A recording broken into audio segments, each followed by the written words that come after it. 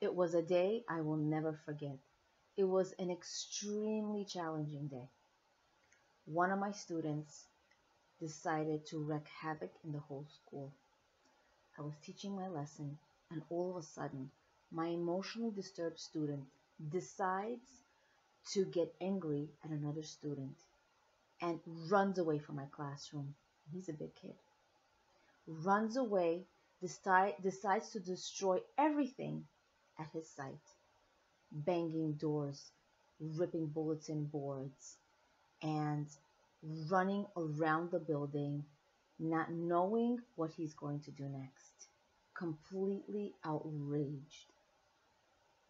Now, the father of this of this student of mine thought that we are trying to get rid of the student and every little thing that he does we're going to call and we're going to we're going to try to file reports that this student doesn't belong in the school yet i knew that i felt differently personally i knew that i was doing all that i can as a teacher as a special ed instructor to do all that I can to help this child, to give him what he needs.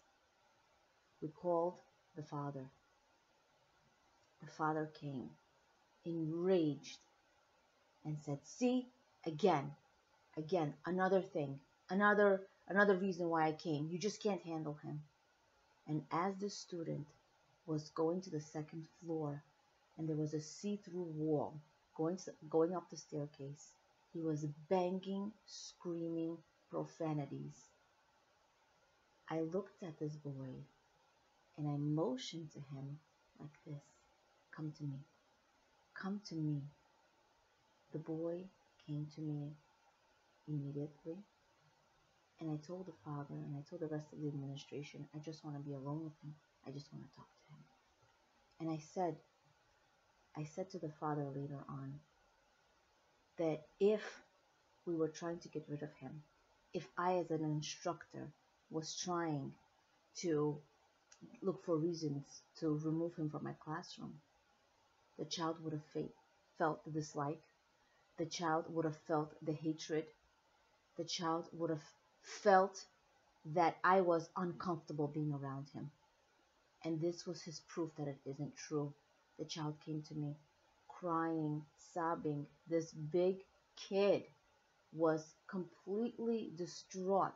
He didn't want to go back home. He knew he was going to face intense consequences for his behavior. And this is compassion. Who are we kind and compassionate to? Are you comp- compassionate and kind towards people who you like? towards people who are going to return the favor to you, towards people who are going to recognize and acknowledge your kindness, to people who are going to return the favor and do more for you. Who are we truly kind to? We learn the beauty of pure kindness from none other than Abraham Avinu, our forefather. Abraham Avinu said little and did much. When he was called to serve to serve anyone what did he say? He said i will take bread. I will take bread. What did he really do? He served an elaborate feast of many delicacies despite his old age despite his uh, uh, his state when he was circumcised at an old age despite how he felt so ill and unwell despite that he did it. Whenever you have an opportunity to do something and you don't want to do it, do it quickly. We learned this from Abraham Avinu as well. Do it quickly. When Abraham was told by Hashem to, he must get rid of Ishmael and he must get rid of um, his wife Hagar. He must get rid of her, his maidservant because they're not good for him. He listened to Sarah, his wife, and she said, Ishmael is not going to be a good influence on our son Yitzhak.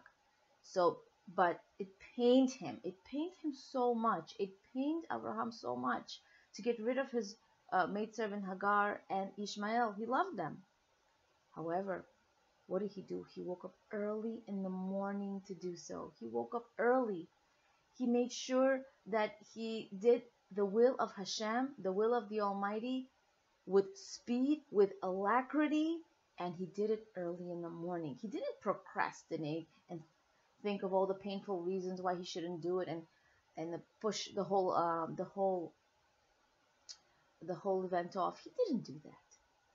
He acted with true will of Hashem, with doing the will of Hashem. And this is what we learn from him. In order for us to really do what's right, we have to be motivated by doing what's right, not by what feels good to me, not by what I want to do. We know that if we get two people, we get three opinions. So, but not what's good for me, but not what not what feels good, what I'm comfortable with. I have to know that if this is the proper thing to do, I have to do what's right. The main goal in Abraham's life was to do the will of Hashem, the will of God. You know, to us ladies of all ages and stages, it can be challenging, but we can do it. For example, waking up 30 minutes before everybody else does in the family. If you're a young mother, if you're a mother and a wife, just to be happier, to be, if you're not a morning person, to get in the mood. It's a tremendous kindness, kindness to your family that the children see that you, you, um, you kiss them goodbye for the rest of the day. You wish them uh, amazing wishes for them to have a productive day of learning to your husband. It just sets off the day in a whole different foot. You know, when you see a cashier, to compliment her, to compliment on her earrings, maybe on her makeup, maybe on her hair color, maybe on what she's wearing, uh, because you you just make a whole world of a difference by being by recognizing someone. Esther Baylor Schwartz was going to a store and running some errands, and what happened was she was just saying, "Wow," um, she said to the cashier, "Thank you for smiling at me. I, you must be tired." Uh, and thank you for you know smiling. Your smile made me feel better.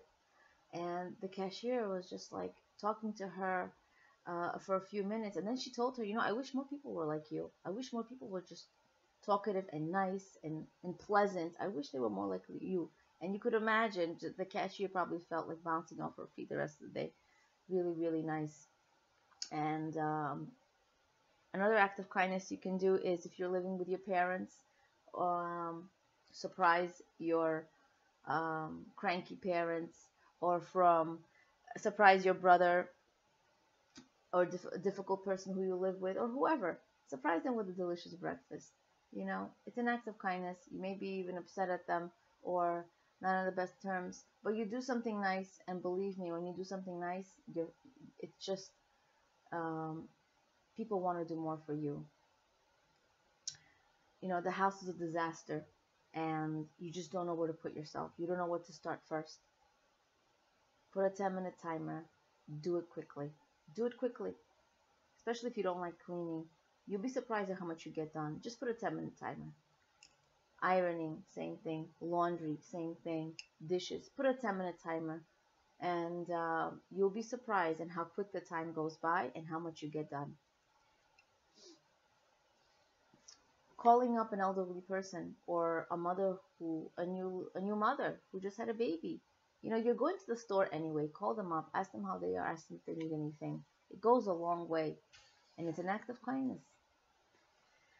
Okay so tehillim 145 really shows how we can emulate god we can em- emulate hashem and we can truly act kindly and compassionately by saying Perek, which is Perek 145, Tehillim 145, 8 and 9, line 8 and 9. Gracious and merciful is Hashem, slow to anger, and great in bestowing kindness. Hashem is good to all. His mercies are on all his works. End quote. The Torah tells us to emulate his ways, God's ways, to walk in his ways, how can we possibly do that? You know, it's easy to do a compa- uh, to do acts of kindness to someone. It's really easy com- compared to acting compassionately. Why? When you are kind to someone, you're doing a physical action. You can feel the action. You could tell what it is. You could see it. Now, when someone acts compassionately, that means it's an internal feeling. When you feel compassionate towards someone, maybe you uh, feel compassion towards a friend or relative because you feel their pain. They mean something to you. Maybe you heard of a story that that was um, a sad story and you feel you couldn't relate, and that arouses feelings of compassion towards this person that you read about you don't even know. So, compassion is internal, and kindness is external. That's why it's easy for us to be kind.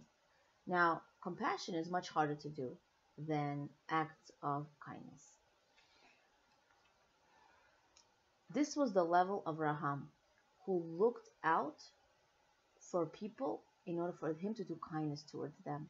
We shouldn't wait, says Rabbi Mordechai Gifter of blessed memory, we shouldn't wait for things to come up in our lives for us to do kindness.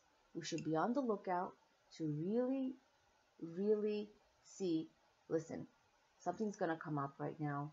She probably needs me. She's going through this thing in her life. He probably needs me. He just had it. He just said it. He has a hard day. Whatever that it is, if you see a situation in your life where you heard about someone having having it hard, having a difficult time, that's a signal. That's a message saying, you know what? I can be helpful. I can be helpful. I can practice my acts of kindness, goodwill, and compassion. Hashem is good to all. How can we be good to all? You know, we are limited in our time. We are limited in our resources. We are limited financially, money wise. We are limited. We don't have so many resources. Hashem is infinite. He has infinite amount of resources, infinite amount of energy, and infinite amount of time. There's no such thing as time in Hashem's world. So, what are we talking about here? What we're talking about here is I don't only do acts of kindness and compassion towards people that I like, towards people I can relate to, towards my family and friends. I should be just compassionate and kind towards everyone. Why? Because I am emulating Hashem. I am epitomizing Him. I want to be like Him. I want to do the right thing. I want to do the proper thing. So, this is something that's within us and within our ability to do.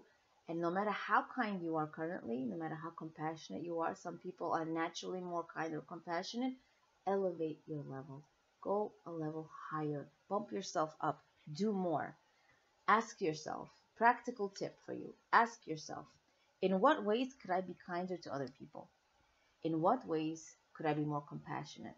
You know, to exercise compassion, look at a person and say, listen, she may be not great with her kids. She may not know how to discipline them, but I'm not great at many things. So I can feel compassionate towards her or towards this person that, listen, there's some things I'm good at, there's some things she's good at, and to feel compassion, not to be judgmental, to want to be helpful, to want to be kind, to want to be compassionate. Another tip is do an act of kindness that you don't really want to do once a day. Once a day, just do it. One act of kindness. And you're going to see your character will change slowly but surely. So I want to uh, um, thank Rabbi Zelig Pliskin for Growth Through Torah and Growth Through Tehillim for his books. And we received many of these beautiful ideas. May we merit to develop an attitude of compassion and kindness that actually surrounds the entire universe. Leah Abramov, Being and Becoming.